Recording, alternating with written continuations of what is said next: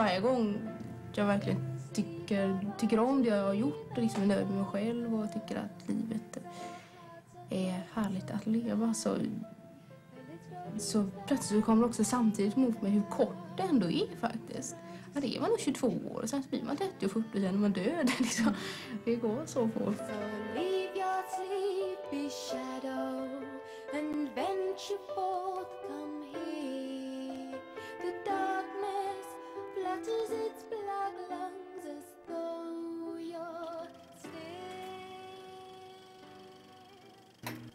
När jag som valp flyttade till Stockholm tidigt 80-tal var Marre Kandre det coolaste man kunde tänka sig. Hon sjöng i bandet Global Infantilists som var på väg att slå igenom i England. Och hon ställde ut sina egna tavlor på ett galleri. Och framförallt, hösten 84, romandebuterade hon, 22 år gammal. Som jag minns det var det den första bok jag köpte som vuxen. I 20 år hölls hon sen som en av landets bästa och mest egensinniga författare. Och så skulle det väl ha fortsatt om inte hennes förutsägelse om att efter 40 är man död plötsligt, påsken 2005, slog in.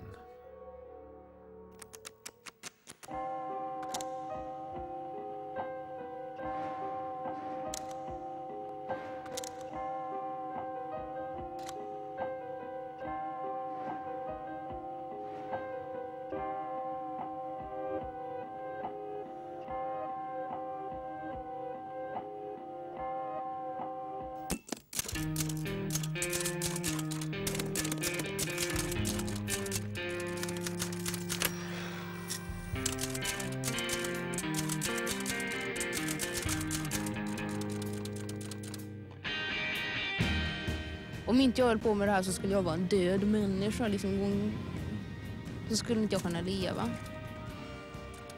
Det blir mer ordning alltså om man har skrivit någonting. Då, ja, det, man benar upp saker. Det är på liv och död och det måste det alltid vara.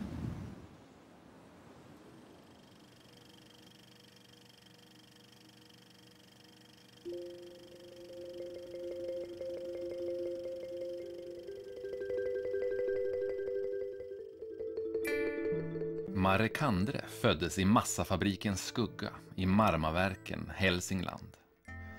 Men när hon var sex år gav sig familjen ut på den resa som kom att forma en stor del av hennes författarskap.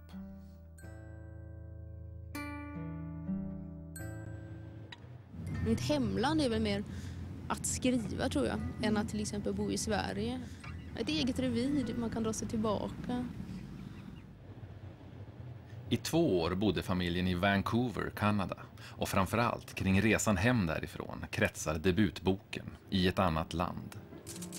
Vart är vi på väg? Vecka ut och vecka in, jag har tappat räkningen, far vi fram över ockerafrag och öken, förbi benvita flis och berg vars hårda spetsar skjuter upp i sanden som tänder. Jag och Astrid sitter i baksätet och känner hur vi stiger och sjunker. Bilen kränger fram i en varm, evig rörelse och det sjunger i hela kroppen. Jag och pappa är de enda vakna. Mamma dåsar med hakan tryckt mot bröstet. Astrid slumrar drömlöst mot mitt lår. Nacken är rund och kall och vilar som ett mjukt litet ägg i min ljumskes varma skål. Sovande människor är kusliga. Jag kan nästan se sömnens mäktiga mjölke stiga ur Astrids panna och lägra sig i ett kalkvitt pansar osynligt över ansiktet. Hon ser stark, osårbar och fjärran ut, som en blind. Sällan har en debutant fått så mycket uppmärksamhet innan boken släppts. Alla tidningar gjorde stora förhandsintervjuer, utdrag ur boken publicerades och i tv fick hon ett alldeles eget porträttprogram. Hon var en punktjej. Hon pratade i rutan och hade gjort en skiva och nu skulle hon ge ut en bok och hon hade gjort egna teckningar till och sådär. Och hon framställdes som enormt begåvad. Jag blev lite irriterad över det där inslaget. Minns jag. Man kan väl låta henne debutera först, tyckte jag. Det var ju en välförtjänt uppmärksamhet. hon, hon var ju unik. Hon var ju unik. Hon inför en, en, ett helt eget idiom och, och stakar ut ett territorium som ingen annan tidigare i svensk litteratur, tycker jag. Det, är så, det finns knappast någon svensk eh, yngre författare idag, framförallt då kvinnliga författare, eh, som, som inte är skyldiga henne väldigt, väldigt mycket. Jag kunde inte tänka mig att göra någonting annat men samtidigt så verkar det så helt otroligt att få någonting antaget, kunna få ge ut sina böcker. Och liksom få skriva och vara författare. Det verkar så otroligt. Någonting som... Men så hände det.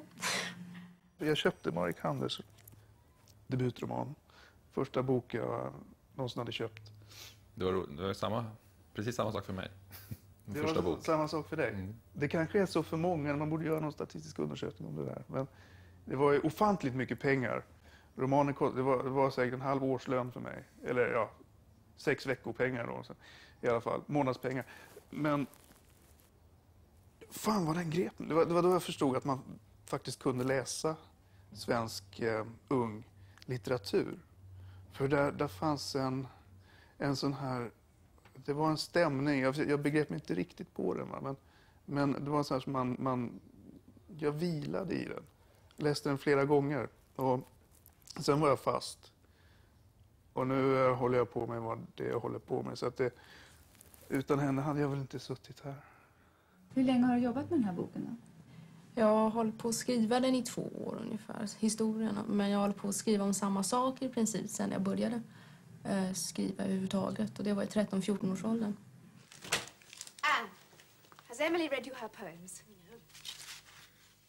Kanske var det precis de här bilderna som tände författardrömmen i henne. Sommaren 75 visades en brittisk serie om de författande systrarna Bronte. En 13-årig Marre Hansson satt som klistrad framför tvn.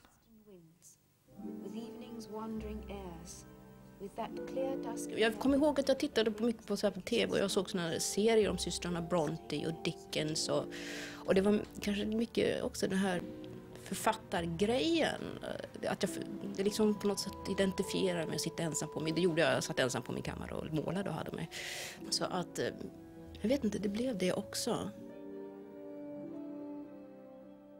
Hon var ju anglofil och eh, hon skrev ju någonting på engelska tror jag som hon skickade in till, till ett förlag. Uh, the, the Adventures of Naomi någonting. De var inte intresserade men de sa någonting i stil med But we, we think you have the making of a writer eller någonting sånt där. Så att hon fick ett positivt, väldigt positivt gensvar så att eh, jag tror att det äggade henne att eh, gå vidare med det. Nej, jag läser inte så mycket svenskt faktiskt. Läser gamla engelskor. Det. Virginia Woolf och sådana saker. Vad hittar du där som du gillar? Då? Jag tycker engelskan är sånt smaskigt språk på något sätt. Det, man, det, jag tycker det är mera ljud. Man, man kan nästan bli hungrig när man läser engelska ibland för det är så, ja, de har så underbara ord.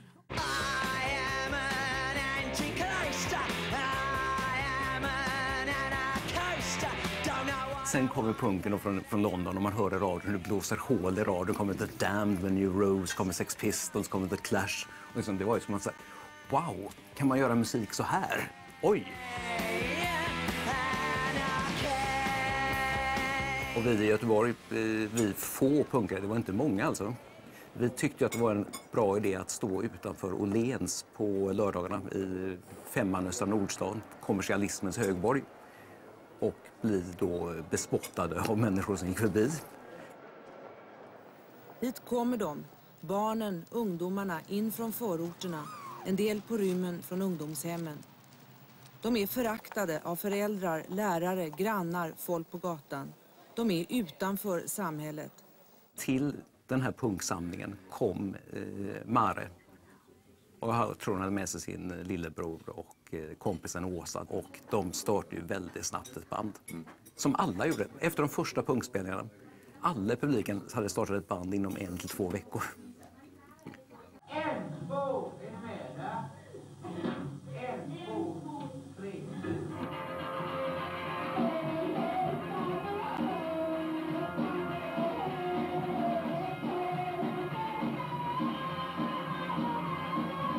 Texterna i Kramp ansågs ju ganska pretentiösa. för att det var lite svåra ord. Liksom. Men det krävdes ju inte mycket för att bli kallad pretentiös i punksvängen i Göteborg, det, det ska ju sägas. De lät som ett punkband, de såg ut som ett punkband, men texterna var ju av en helt annan kaliber. Vi förstod ju inte texterna, vad det var eh, egentligen som, vad det betydde. För alla andra band hade vi hatar disco, vi hatar att de ska bygga ett operahus, vi hatar att det är 18-årsgräns och vi hatar det och det och det. Och sen kommer då eh, Kramp och Mares texter med helt, helt annat. För jag, jag hittade ju den här, en intervju jag gjorde med henne i punkfanzinet Funtime. Jag tror det är 1980 eller 79 möjligen. Och eftersom det här är en punkttidning så kan, kan man då ställa frågor som jag, jag har gjort här som 19-åring. Hittar du alla svåra ord i en ordbok eller? frågar Marek Andre. Och då svarar hon, nej absolut inte. Jag har aldrig använt en ordbok när jag har skrivit en text. Vad är det för fult med att använda svåra ord? Varför ska man ha en sån stor respekt för sådana ord?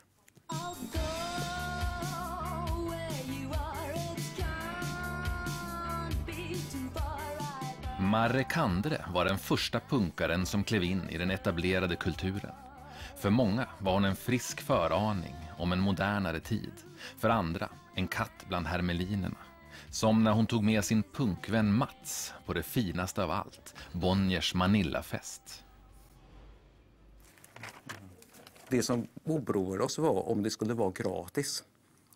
För att, eh, eftersom vi hade inga pengar så, här, så jag tror till och med Marre ringde och frågade är det gratis nu verkligen när vi kommer. Och så kom, kommer vi ut dit. Jag tror, och ser då en massa sådana här ja, kända människor. När Mare och jag kommer in så då var det verkligen en explosion av fotoblixtar. Och det, det var jag väldigt förvånad, vi fattar ingenting liksom. Och det är så typiskt för Mares humor. För hon, hon brukar kalla mig i breven för Whitty Jonsson, att jag kunde vara slagkraftig ibland.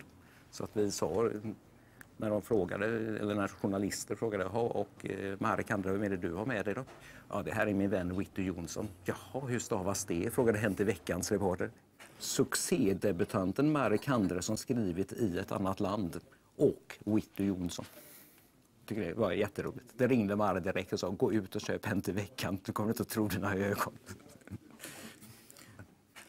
Vi passar inte riktigt in där, det kan man säga.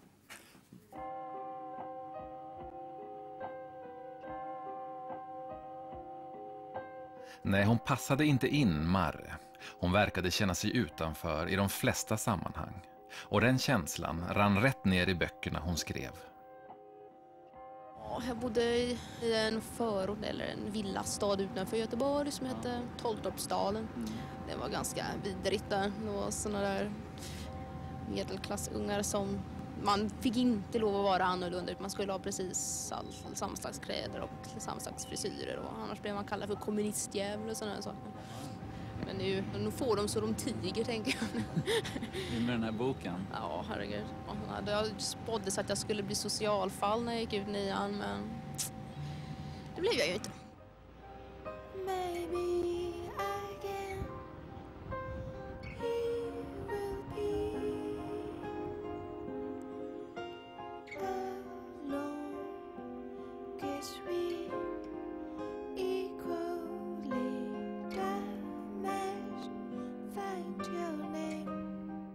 I åttonde klass hände någonting avgörande. Marre skrev en uppsats som grep tag i hennes svensklärare.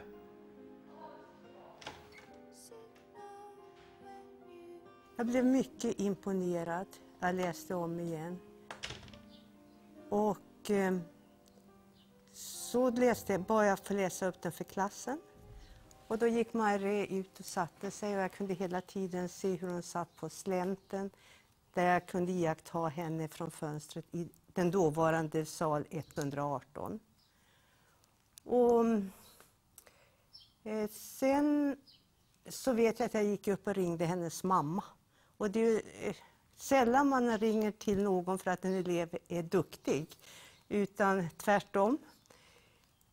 Och jag var så tagen så jag, oh, hon har ett bildspråk eh, lika bra som Harry Martinsons.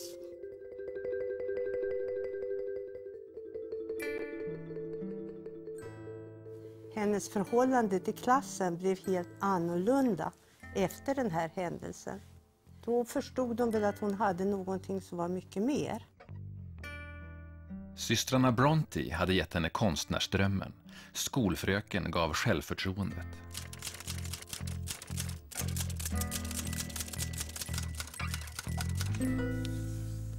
Nu skrev Marre med sikte på att bli publicerad, helst innan hon fyllde 18 år. När Bonniers refuserade en diktsamling eldade hon upp den. Men snart var hon sin egen röst på spåren ja. Det är sällsynt att en författare, ja, en författares språk är så färdigt som det är i den här boken. Jag tyckte redan innan jag hade skickat någonstans att det var väldigt bra. Att jag, jag var väldigt nöjd med det själv. Jag, jag tycker att det är tajt och bra och att det, att det är så pass många människor som kom fram till mig och verkligen spontant sagt att de tycker om det. Och det handlar ju om ovanliga saker och det är väldigt ovanligt, ovanlig litteratur egentligen. Ja, jag antar att det är de här raderna du tänker på. Och varje morgon vaknar jag och jublar över att jag fått de gåvor som, om jag inte haft dem, jag annars hade önskat mig mest av allt på denna jobb. Mm. Ja, ni hör. Hon vaknar varje morgon och jublar över de gåvor hon fått. 20 år gammal är hon när hon skriver det kaxigaste följebrev ett bokförlag fått. För om jag inte skulle skriva skulle jag heller inte vara hel som människa. Jag måste, även om ingen vill läsa det jag har gjort, kan inte tiga. Måste liksom lämna spår. Och i vanliga fall så, så ringer alla varningsklockor när man skriver så högtravande. Men, eh, men hon, hon, på något sätt gick hon i land med det. Det lät övertygande redan då. Det var så? Ja. Och sen var vi ju, behövde vi inte läsa mer än ett par sidor i manuskriptet förrän vi förstod att det här var något alldeles ovanligt bra. Och, och hon har ju fått rätt. Så, så gestaltade sig hennes skrivarliv.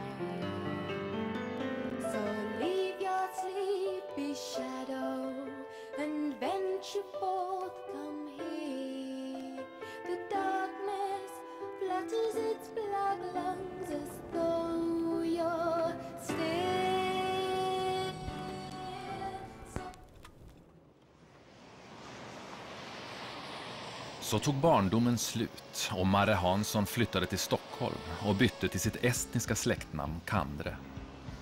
Det blir 80-tal och huvudstaden försöker växa i sin nya kostym.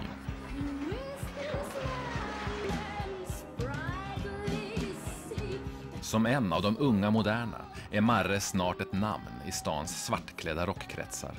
Det är nu jag får syn på henne. Hon syntes tydligt. Liksom. Liten, spinkig med runda glasögon. Svartfärgat hår. Och väldigt liksom, allvarlig eh, utstrålning på något sätt. För hennes del var det ju väldigt mycket det här som jag tycker också är på något sätt kärnan i punken om det fanns någon. Att man alla kan. Och att det liksom, alla har en personlig röst som är intressant. Man behöver inte liksom vara tekniskt fulländad eller skolad eller något, på något sätt. Utan man kunde bara köra på. Liksom. Och det där tog liksom till sig fullständigt. Och eh, ja, skapade konstant. Liksom. Och det var otroligt häftigt med henne. Märktes det att hon hade en begåvning också? Tycker du? Oerhört. Alltså det, det, alla slogs av det hela, liksom på en gång. På alla fronter, all, vad han än gjorde tyckte jag. För att det var ja, man, det kunde vara naiva uttryck. Det kunde vara liksom väldigt enkla melodier eller vad du vill. Men det var personligt och innerligt. Liksom. Nu är det tid för Baggen och konsert med Global Infantilists och Jubangi. Programledare som vanligt Kia Berg.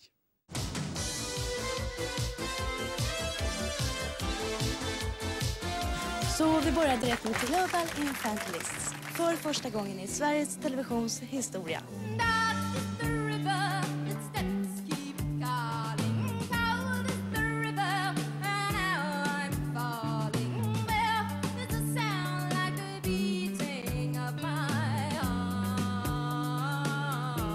Förutom den här tv-inspelningen gjorde Global Infantilists bara en enda spelning på rockklubben Ritz.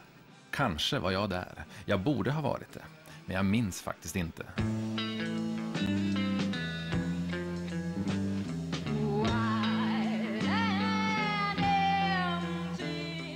Vi var så nervösa, vi hade repeterat allt för lite och det var, det var katastrof. Det var jättedåligt. Alltså. Det är lika bra att äh, eh, inte nämna nästan. Men det var, men det var rätt kul. Men det, jag tror att det, det liksom, efter den konserten så insåg jag att det blir ingen mer konsert. Men bandet och Marres sångtexter hade väckt uppmärksamhet i England. Tillsammans med Olle Sjödin åkte hon dit och gjorde intervjuer. Hon var ju inte en sån person som imponerades av de fina recensionerna som hon fick eller stipendierna som hon fick. Jag kommer ihåg att hon en gång fick ett stipendium av Svenska Akademin på ganska mycket pengar, det var 100 000 spänn och jag ringde för att gratulera henne. Det hade hon redan glömt bort att hon hade fått. Men det fanns en sak hon var stolt över och det var en artikel i New Musical Express om just Global Infantilists. Den artikeln visade hon gärna upp. Eh, vår skiva fick ju väldigt bra kritik där. Och sen var det ju liksom upplagt lite grann för att vi skulle göra nästa grej. Och den nästa grejen kom aldrig. Liksom. Man, hon skrev böcker, jag gjorde andra saker. Och det på något sätt rann ut i sanden.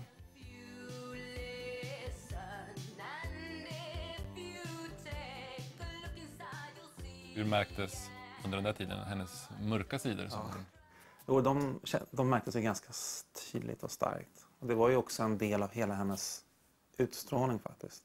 Hon skar sig och sådana saker. Hon hade mycket, många ärr på armarna. Liksom. Och äh, åt väldigt lite tror jag också. Väldigt, väldigt smal. När jag läste min artikel i Funtime från 1980 så Eh, kommer kom faktiskt in lite grann på det att eh, Kramp skulle ha spelat men eh, Mare kände sig deppig och då blev det inget med det. Men det var inget som vi liksom... Det var väl klart man kanske kände sig lite nere ibland. Kan du berätta om dina depressioner och neuroser, Marre? Vadå berätta? Ja, är det något du bara hittar på, eller? Jag hittar inte på dem. Allvarligt talat, detta är jätteallvar. Jag började i uh, puberteten i högstadiet faktiskt. Hon var extremt skoltrött. Vantrivdes verkligen i skolan. Hon var hela tiden tvungen att göra saker uh, efter sitt eget schema. Varför det? Vet du det? Jag tror att det kan ha ganska mycket att göra med att hon mådde dåligt av och till. Uh, och de perioder hon var, mådde dåligt så, så kunde hon helt enkelt inte mobilisera sig till något sånt. Liksom. Marre och jag träffades första gången 1987 på Bonniers 150-årsjubileum. Det var mitt debutantår. Hon var ju inte precis som en debutant, hon var en jättekänd författare då, då eh, som jag var väldigt imponerad av. Och så träffade jag henne på den här festen och, och började prata med henne, eller hon som började prata med mig, eh, jag kommer inte ihåg. Och vi gjorde sällskap därifrån. Och det finns en sak som jag kommer ihåg ganska väl eh, då det var att eh, hon, hon, vände sig om strax innan vi skildes åt och så tittade hon på mig och det fanns... Det var någonting i hennes blick som jag tyckte var så eh, gripande. Det, det fanns en sorg där, det såg man. Det, det ser man också på det hon skriver och på allt det hon har gjort. Det fanns där och jag upplevde det jättetydligt just i det ögonblicket man måste ju ha någonting, ett slags system som funkar. Så även om det är negativt så kan det ju funka på, för en att hålla borta vissa my- mörka krafter som annars skulle vara helt tygellösa. Det, det skrivande för mig är en sån sak. Att, att om inte jag skulle skriva skulle alla de här krafterna bara helt släppas helt eh, fritt och jag skulle inte kunna hantera det. Men vad är det för krafter? Alltså, starka negativa känslor kan vara väldigt svårt att bara vara i. När man är yngre så tror man att det ska döda en, verkligen. Bara att känna vissa saker. Men med åren så förstår man att det gör inte det. Jag överlever det här också. Jag kan känna det, det går över. Du jobbar väldigt hårt alltså? Skriver om och skriver om eller? Ja, jag skriver inte hur många gånger jag har skrivit om det jag håller på med nu. Det är säkert 20-30 gånger. Det hon höll på med här var en tidig version av romanen Bybins unge som inte var klar att ges ut förrän tre år senare. I föräldrarnas källarförråd hittar vi spåren.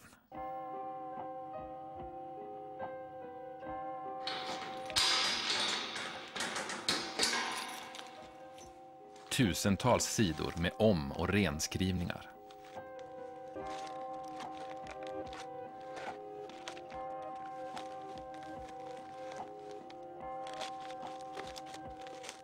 Det är verkligen ett stort konststycke. Jag, jag skulle föreställa mig, utan att veta någonting om Marek Andre som person, att det kostade ett enormt arbete.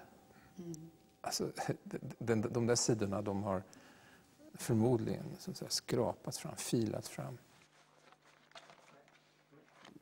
Bubins unge är, är ju en, eh, vad ska man säga, den är absolut genial. Det tycker jag är en av 80-talets absolut starkaste böcker. Det är en sån kraft så att man blir helt förfärad. Den är ett mästerverk. Det, det går inte att komma förbi. Man läser den och språket bär fullkomligt i varje sats från första till sista sidan. Det är rasande sällsynt. Så många böcker av det slaget finns faktiskt inte.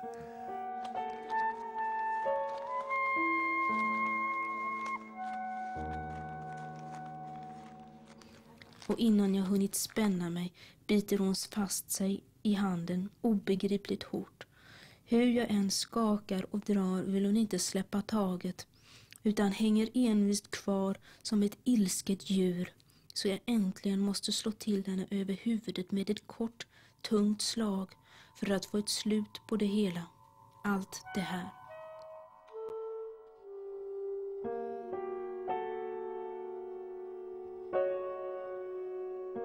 Sen tyckte jag att den var oerhört grym, det minns jag att jag upplevde den som. Eh, litteratur, ja, ja, alltså litteraturen på den tiden var nog relativt snäll förhållandevis. 70-talets förhöll sig pedagogiskt till läsarna och ville att de skulle bli bättre människor. Och, och det har jag skrivit av en författare som uppenbarligen fullständigt struntade i det och som gav sig rätt in i sitt eget eh, mörker eh, utan att fråga efter hur det skulle gå för läsaren om han eller hon följde med henne in dit. Och det kändes också på något sätt oerhört befriande. Att det var som litteraturens återkomst i någon mening.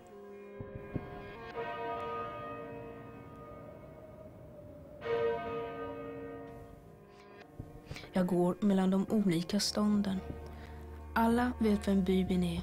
Hon fyller min korg med bleka, beska grönsaker, inte större än kart eller sten, för ingenting kan växa sig sött och stort i jorden runt byn. Det ligger bara tyst och hårdnat i den magra skuggan under rötter och gräs.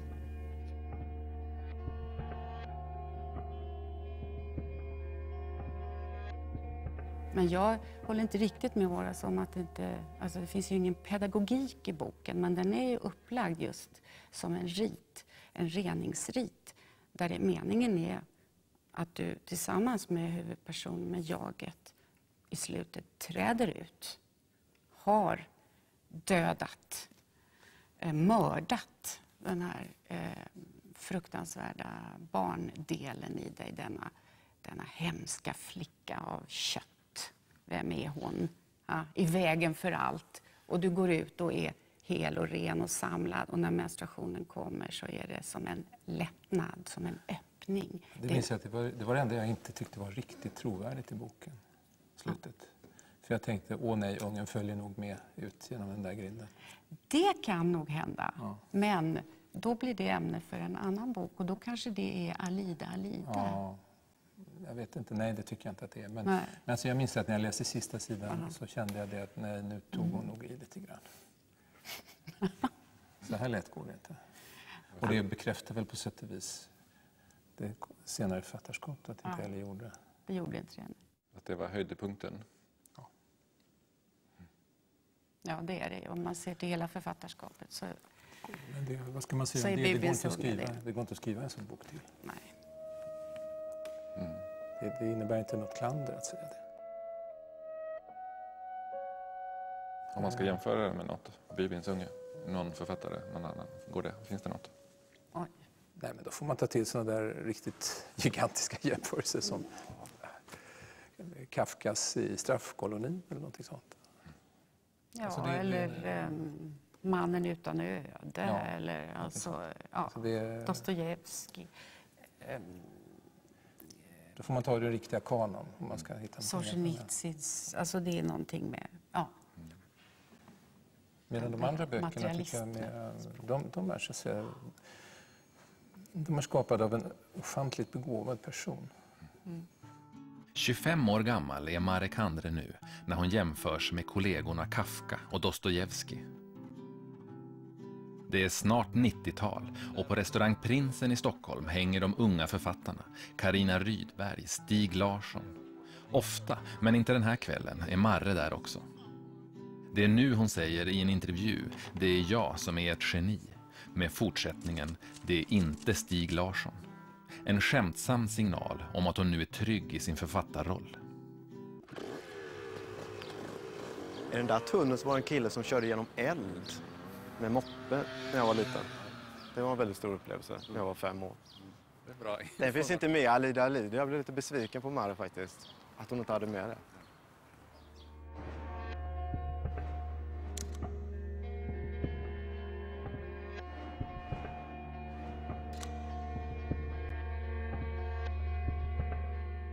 Alide Alide, en bok om en barndom som fick Dantes Inferno att framstå som rena rama paradiset, tyckte en kritiker.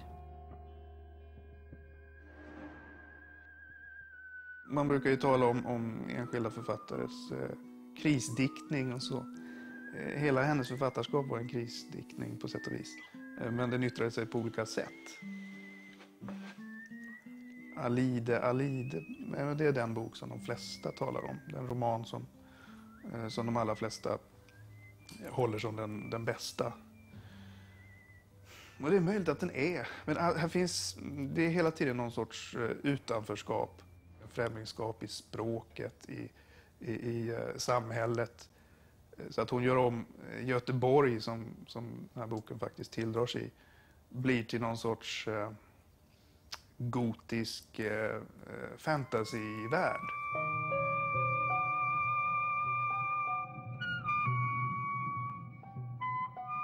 Ja, det är en, Nordostpassagen som byggdes eh, 1969 och dit vi flyttade precis efter det att vi kom från Kanada.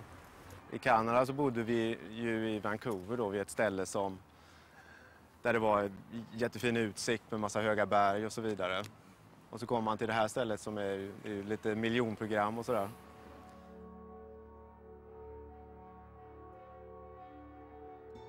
Nej, nej och återigen nej. Det här landet, den här stan, kalla det vad man ville. Den här rent ut sagt gudsförgätna delen av jorden hade inte mycket att erbjuda henne i jämförelse med den paradisiska tillvaro hon just lämnat bakom sig och mot sin vilja drivits bort från. Som hon stundtals, ännu med sorg i hjärtat, när saknaden blev henne övermäktig, tänkte tillbaka på.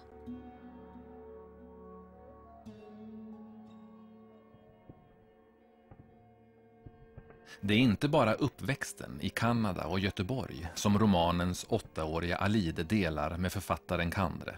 Också många barndomsminnen är samma. Den gigantiska valen på Naturhistoriska och det fruktansvärda Kuriosa-kabinettet. Denna monter innehöll allehanda egendomligheter som naturen frambringat. Till exempel en, en stor konstigt formad leopardmönstrad snäcka och en jättekrabba och en kalv med två huvuden som pekade åt varsitt håll. Och en liten katt som hade sett helt vanlig ut om det inte hade varit för att den hade två egendomliga utväxter, ungefär som ett par vingar på ryggen. Men värst av allt var nog ändå den stora gamla glasburk som fylld till bredden med en klar urinfärgad vätska innehöll två nyfödda döda barn som satt fast i varann vid midjan.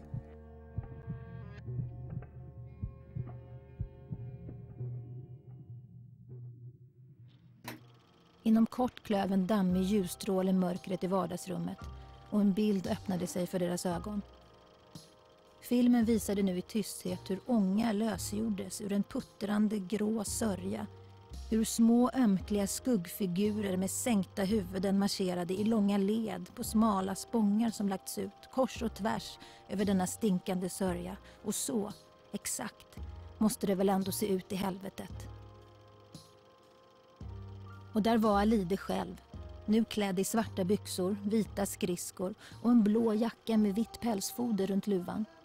Hon stod ute på isen och vacklade med den skelande, lealösa Idrock i sina armar. Och ånga, andedräkt, något vitt och hett flöt ur deras munnar på filmen. Vad jag känner igen är ju tiden och platsen och att eh, den eh, person eller den individ hon beskriver ska föreställa mig. Men jag känner ju inte igen alltså, de känslostämningar och så vidare som hon beskriver i samband med det. Jag har helt andra minnen för det mesta av, av det hon beskriver.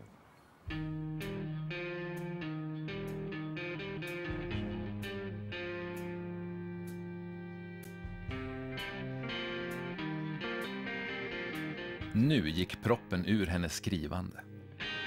Det långsamma gnetandet från Bybin och Alide, som hon själv beskrivit som att skura Västerbron med tandborste, byttes nu mot full fart och glatt humör. Det är ju jag. Det är så jag är. Ja. Mycket mer än de andra böckerna. De andra böckerna har inte egentligen visat... eh, Nej, det är bara en väldigt sådär komprimerad mörk sida av mig. Det är inte alls, jag menar, om, om jag med mina vänner så är jag inte alls så. Jag menar, det är många som inte har träffat mig så tror att jag är sådär väldigt sådär djup och svår och sitter och läser Nietzsche, vad de nu tror att jag är. Ja. Men det gör jag ju inte. När jag tänker tillbaka på, på de åren, ehm, till exempel början av 90-talet, så, så är, får jag bara ljusa bilder av henne. Längre fram fick hon ju ett svårare liv. Men, men då på 90-talet var det som om allt stämde för henne. Hon skrev, och är oerhört produktiv. Jag tror att vi vid ett tillfälle hade tre manus liggande i väntan på publicering. Vi hade ingen möjlighet att hänga med i hennes takt. Den nya energin ledde också till att böckerna översattes. Kvinnan och Dr. Droyf finns till exempel på franska, danska, ryska och estniska. Men när förlaget inte hann med att ge ut henne fanns det utrymme att göra något annat i livet. Författaren Kandre tystnade. Hon är tillbaka i ettan i Vasastan efter resan till San Francisco där hon träffade Sekes pappa. Vad jobbar din man med? Min man? Ja, just nu jobbar han inte så mycket. Han är mest här i Sverige och studerar svenska. Och ska försöka lära sig språket först och främst. Jag kunde inte skriva någonting egentligen flera år efter att jag fick min son. Därför att jag kunde inte skriva när jag inte visste vad jag höll på att bli. Inte bara det där rent praktiska att man får ett barn att ta hand om, utan också det här liksom att det är en sån stor förändring i personligheten så att det påverkar ens skrivande. Man måste på något sätt ha någon hum om vem man är för att kunna skriva något. Jag måste det i alla fall, så det tog ett tag. På det sättet har jag väl förändrats. Ja, livet tog en vändning som hon nog inte räknat med. I Kalifornien drabbades hon av en stor passion som satte djupa och avgörande spår i resten av hennes liv. Långt senare, under sina sista år, skrev hon på en delvis självbiografisk roman om den här omtumlande tiden.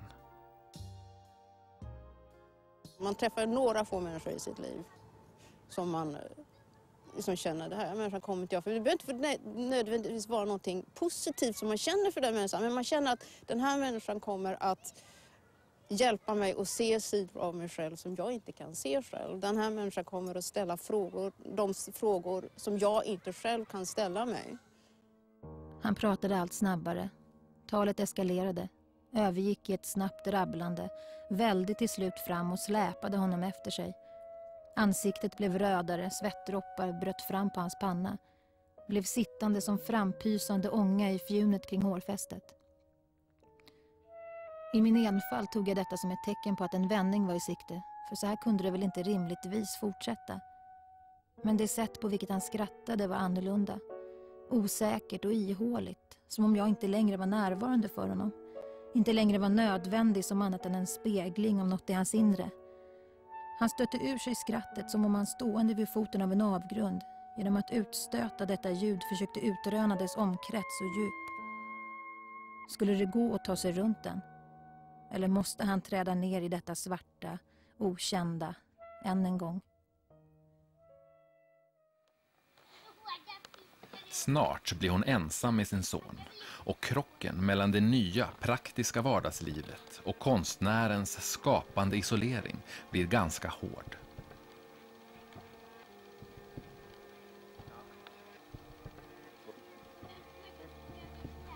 Ja, jag, ibland så undrar jag hur inom citationstecken vanliga människor klarar sig liksom i livet utan att ha den tillgången till en annan värld. För det är ju, det är verkligen sådär så att, särskilt när jag skrev Bestiarium då tänkte jag mycket på det. Jag menar, hur kan jag skriva allt det? Det finns inte. Den här världen finns inte. Ja, jag ser den i mitt huvud men det är inte ens bilder, det är ju inte ens på en bioduk. Men ändå ser jag, jag menar, ser exakt var alla föremål ligger i det här rummet och hur dammet ligger. Och när jag slutar skriva så går jag ut i det rummet och stänger dörren. Och så är det som det är. Ända tills jag kommer tillbaka och öppnar och så går jag in och så fortsätter handlingen. så det är jättehäftigt. Det är bara verkligen parallellvärldar. Och det där var mycket mer så när jag var yngre och inte hade barn till exempel. Då kunde jag ju gå omkring i veckor utan att prata med någon. Och utdraget telefonjack och aldrig bli störd. Och leva helt i min värld. Det kan jag ju inte nu. Liksom jag blir avbruten hela dagen.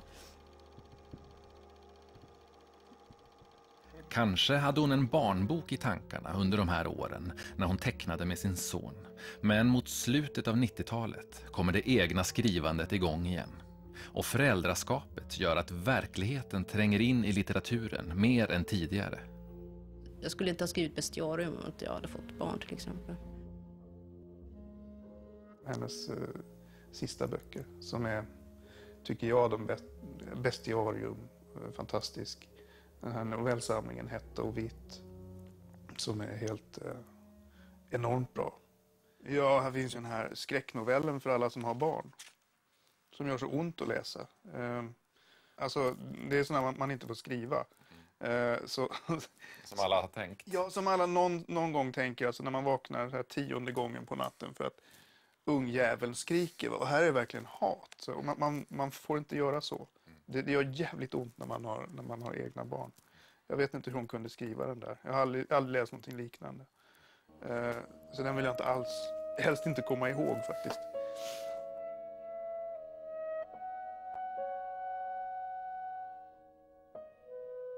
En ofattbar trötthet välde in över henne. Hon ville slänga ifrån sig barnet. Med våldsam kraft knuffa in det i väggen men istället släppte hon bara taget om armen och lät det stå där det stod in till bordet med den sönderpetade blomman på, snörvlande hopsäckat, hulkande och gick och satte sig i soffan, såg sig om, försökte stänga ute den ylande gråten. Men när man som förälder så, tänk, så, känner man också så fruktansvärt starkt i sådana situationer. Det blir så man kan verkligen känna att nu, nu stryper jag ungen, nu, nu, nu kastar jag in den i väggen. Och det är så totalt och, och fullt Sen så när, när, när det här är över då, och de positiva känslorna kommer, då blir det ju liksom åh, kärleken är så total och man minns ingenting av det där svarta nästan. Vad, vad, tror du, vad är det som gör att så många människor söker sig till Marikandres böcker? Vad är det man längtar efter när man går komma in där? in i den här härliga, otroliga världen som hon, hon skapar. Att man går, man går igenom känslor nästan. Ja, man kan bli lite febrig i Kandreland. Känslorna ligger öppet på boksidorna, på samma sätt som hos Dostojevskij. Och i Raskolnikovs Sankt Petersburg fann hon också inspirationen till det som blev hennes sista roman. Äntligen stannade hissen med ett rasslande till och Xavier kunde med stor lättnad kliva ut. Nu var ju frågan hur han skulle gå tillväga. Skulle han metodiskt beta av dörrarna en efter en eller gå helt på känn? Han räknade till tolv. Det skulle alltså ta en hel evighet att metodiskt och sammanbitet avverka samtliga dörrar. Det som blev hennes sista bok, Xavier, är en strålande bok. Den utspelar sig till stor del i ett ganska kompakt mörker där den här unga huvudpersonen irrar omkring. Men det är en sån oerhört ljus och vacker scen som avslutar den där romanen. Så att det är en glädje att tänka på den.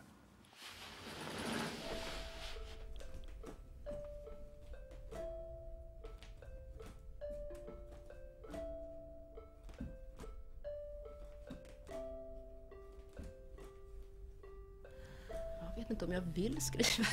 Det är en sån plåga att skriva. Det är verkligen jobbigt. Men när, när varje dag liksom att sätta sig vid ett tomt ark och ur ingenstans dra fram en hel värld. För det är fruktansvärt ångest. Det är en sån spänning, det är en sån anspänning. Det kan ju vem som helst som har suttit med ett vykort framför sig kan ju tänka sig hur det är att sitta med 200 tomma sidor. Så att eh, det är inte så konstigt att författare blir alkoholister och så vidare. Men eh, jag, jag känner att det är, liksom, det är en plikt för mig att göra det. Jag måste, liksom, jag har fått det här, jag kan göra det här. Jag, jag, det vore nästan en synd att, att inte använda de gåvor jag har fått. Och det är en slags utvaldhetskänsla att det här ska du göra och ehm, du, du, du, ja, du är utvald att göra det här. Och ta vara på det.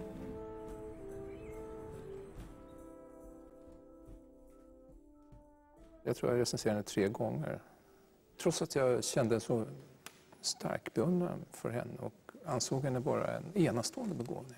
Största som framträtt under min tid som kritiker. Så, så var jag tvungen att förhålla mig avvaktande och till och med direkt negativ till de böckerna. För att jag väntade hela tiden på att hon skulle göra någonting som var till fullo värdigt hennes begåvning. Och när det gäller författare med den talangen så kan man inte vara snäll som kritiker. Det får man inte vara. Eh, därför att då... Han var inte elak Nej, heller. men, ja, jo, lite kanske. Men, men därför att då har man rätt att fordra att, att författaren själv ska förstå vad hon är kallad att göra.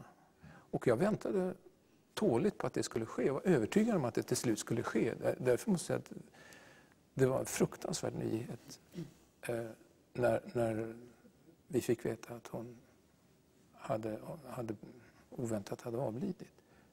Det, det var så bedrövande så det går inte att säga. Det, det var en enorm förlust helt enkelt för svensk litteratur. Hon tyckte inte om vårarna direkt. Jävla vår, årstid, allting är så fult och fult och fult och fult och skitigt. Jag ber till Gud om morgonen att solen inte ska skina på skiten, men det gör den ju ändå. Satans fåglarna piper. Under den sista tiden gick skrivandet trögt. För att få omväxling skrev hon på ett filmmanus tillsammans med en kollega. De fick manusstöd och reste till USA. Och den här fula våren 05 planerade de en ny resa. Jag pratade med henne ju varje, varje dag den veckan hon dog. Skärtorsdagen tror jag hon dog. Hon mådde dåligt faktiskt. Det märktes på henne. Um, då ehm, ringde jag henne på onsdagen ja, efter att jag hade slutat skolan och ringde och skulle berätta henne, för henne då att jag hade brutit upp med den mannen som jag levde med och det tyckte hon ju var, gud vad skönt. Nu är det, det vi som åker till Los Angeles och skriver och hon var liksom ändå, det kändes inte som att hon eh,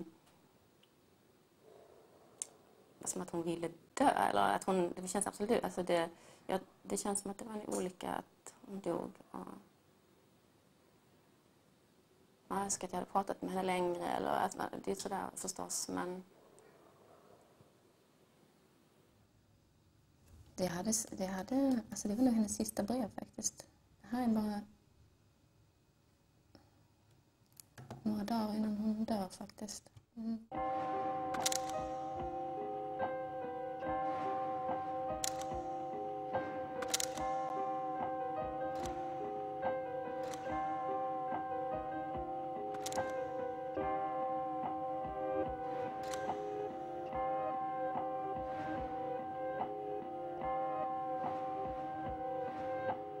Man aldrig veta hur det gick till för man var inte där.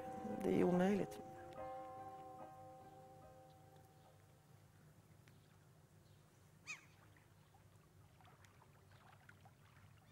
självklart så undrar man. Jag menar, det är en person som jag kände i 20 år som helt plötsligt inte finns längre. Det är klart man skulle veta hur fan gick det till. Något svar på den frågan får ni inte i den här filmen. Ofrivillig överdosering av läkemedel är läkarnas och familjens bedömning. Sanningen tog hon med sig. Men kanske var det följdriktigt, precis som hon var den första punkaren att kliva in i finlitteraturen, följde Marikandre också en annan rockmytisk och konstnärsromantisk lag, att dö ung. Det är väl mycket så som hon slår an på de som ännu inte har fördjupat sig i henne. Det finns en överton av martyrskap till och med, skulle jag säga, i den myten. Jag tycker att man som läsare ändå rätt snart skär sig igenom den där myten. Den, den är inte till något större bekymmer. För hon var ju egentligen framförallt en väldigt duktig författare. Ja, det hon var. Ja, naturligtvis så, så kommer, eh, kommer man att vilja hitta förklaringar, lösningar till vad, vad var det som hände, vad var det som, som slet i henne och sådär. Men eh, det där tror jag är, det här biografiska efterforskandet tror jag är ganska, det leder inte någon vart egentligen. Eh, utan, Varför inte? Nej, därför att då blir, då blir litteraturen eh, patientjournaler istället och det tycker jag inte de ska vara.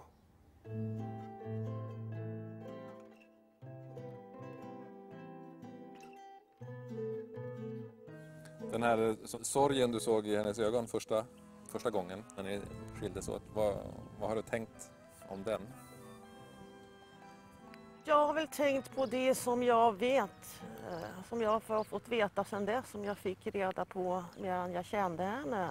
Men det är ju ingenting som jag kan sitta och berätta om. Det var väl kanske saker och ting som hon hade tänkt att berätta om i den här boken som hon aldrig blev färdig med, som var en självbiografisk bok. Men jag förstod på henne att det var jobbigt för henne att skriva den boken. Hon var med om saker. Hon var med om saker. Det där kan inte ha varit lätt att skriva om det. Jag såg i Göteborgs-Posten att mm, eh, det, eh, någon har skrev att eh, 60-talet har inga större författare att komma med. Den enda möjliga är Marek Kandre. Och eh, då tänkte jag, oh, att jag, inte, att jag inte fick tala om det för henne och ringa och säga det att det, det stod i Göteborgs-Posten. Var hon en jobbig storasyster eller var hon snäll? Ja, ganska jobbig. Det får man säga. Hon var, ju, hon var en ganska, vad säger man, affektmässig människa.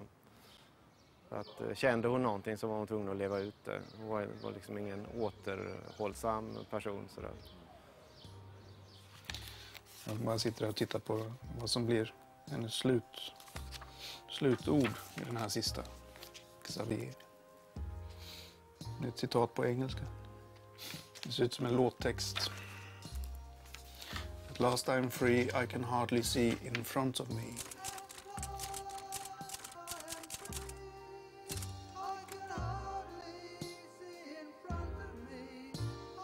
Kan inte ni gå så jag får läsa den?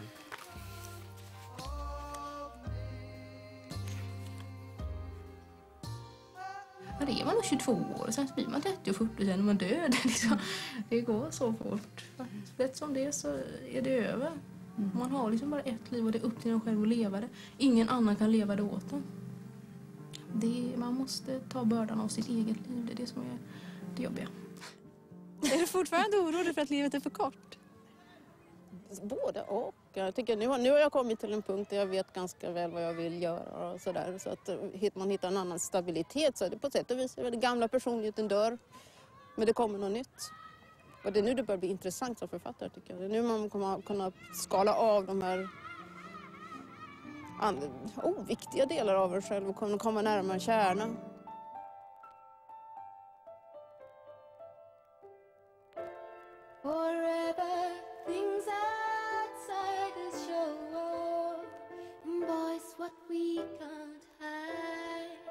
Each step and look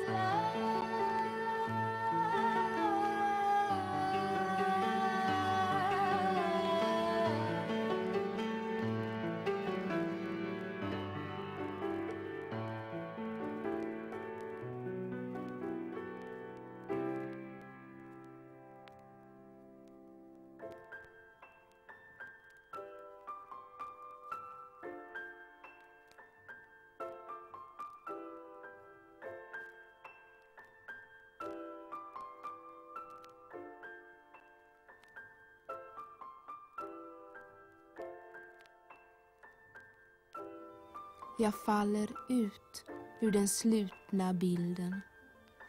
Adjö, adjö.